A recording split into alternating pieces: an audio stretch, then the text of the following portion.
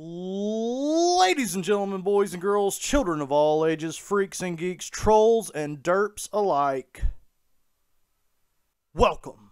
I am Mullet Mike. Titty sprinkles. You creepy gaming. The show where we take a look at a lot of creepy video game Easter eggs, urban legends, creepy pastas, and all sorts of other scary shit. Got something really special for you today, folks. As as you probably know, today we will be looking at The Legend of Zelda Majora's Mask. Big sticky shout out to Mega Orwell 1984, Fish, LOL Mario Link, and Zippy Curve. Thank you for your suggestions. So many of you suggested this video.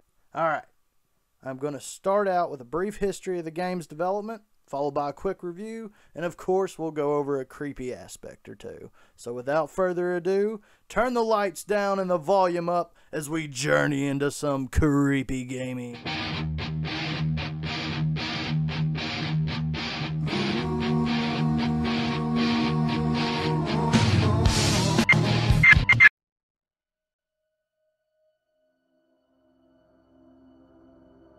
After the release of The Legend of Zelda Ocarina of Time, Nintendo wanted to cash in on a sequel, but not just to rehash the same elements of its predecessor.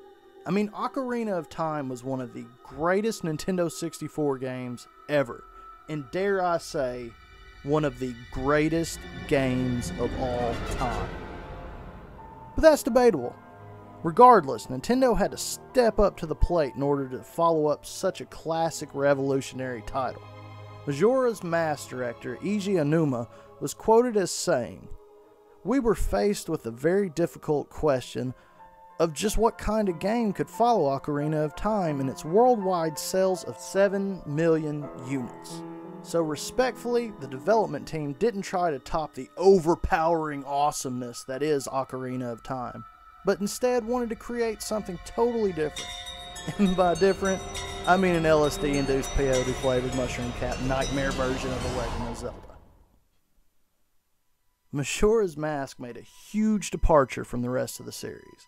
The story is unlike any other. There's no Hyrule, no Ganon, no Princess Zelda. Think about that for a second. Zelda not being in a Zelda game. Well, to be fair, she does make a small appearance. But it doesn't really count because it's just a flashback scene. I mean, it's, it's barely a cameo. Unlike other games in the series, she does not play a pivotal part of the story in this installment. This game is also much darker and creepier than any other game in the Zelda franchise. It even gives Twilight Princess a run for its money. Another difference is that Majora's Mask doesn't follow the typical Zelda format. These major differences alienated many players, causing them to dismiss this title as a mere sequel, a quick cash in, if you will.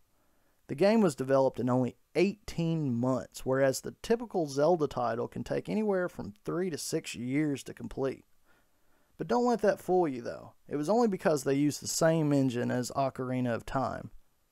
What the Nintendo team did in 18 months is remarkable. I'll just say that Majora's Mask was in no way a quote unquote mere sequel by any means. It is a whole nother experience. Granted, it is a direct sequel to Ocarina of Time, but Majora's Mask takes many liberties with the typical Zelda formula. Instead of the predictable similar plots of other Zelda games, Majora's Mask flips it on its side. So, what's so creepy about this game? Hmm, I don't know. How about fucking everything? What about the masks? Or how about the mask salesman? Hmm? How about his creepy laughter? what about the skull kid? What about the Deku ambush? Or what about the hellish descent into the crazy upside down world of Termina? you haven't seen anything yet.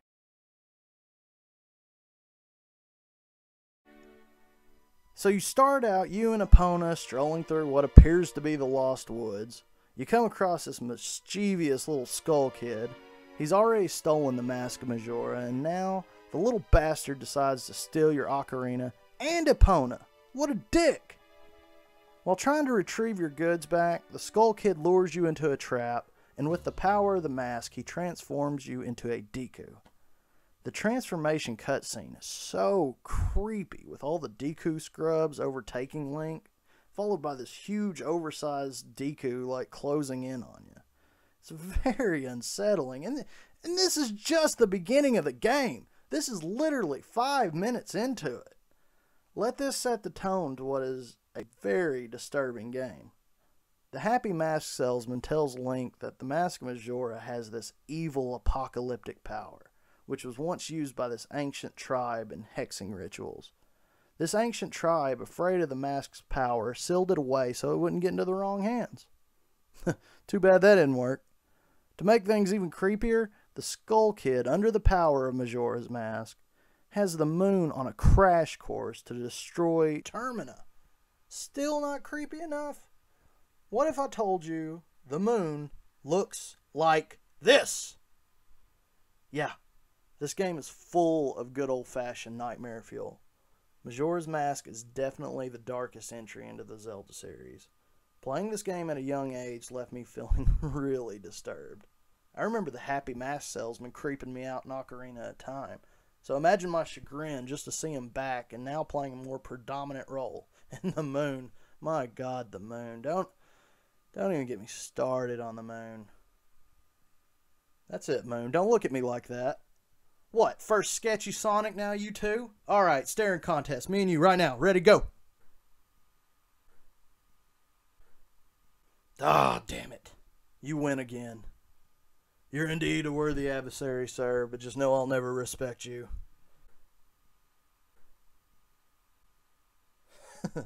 Cry, baby. But seriously, what's with all the creepy character designs? It's not bad enough that impending doom is on its way to Termina, but does the moon really have to look like it just snorted a five gallon bucket of blow? Yeah, that's another thing about Majora's Mask that always unsettled me is that the game works off of a time limit. So even though you can use the ocarina to turn time back or use the fourth day glitch, it's still really nerve wracking trying to save the world under such pressure. It's said that Shigeru Miyamoto himself was the one who came up with the idea of the time limit.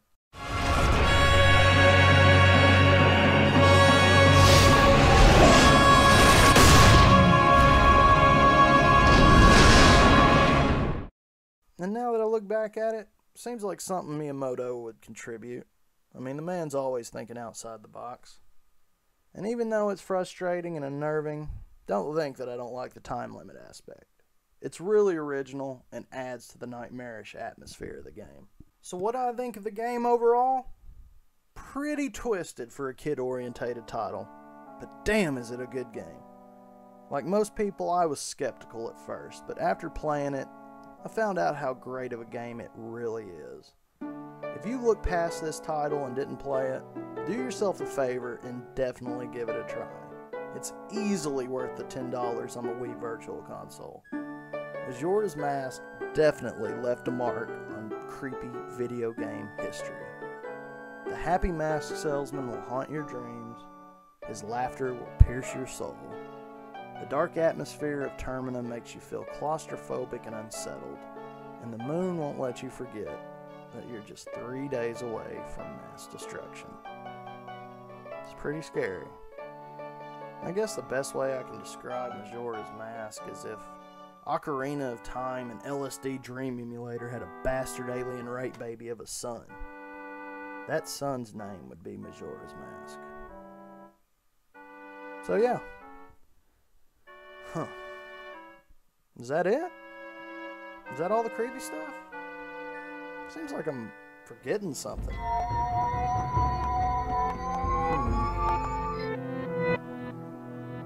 Hmm. Fuck.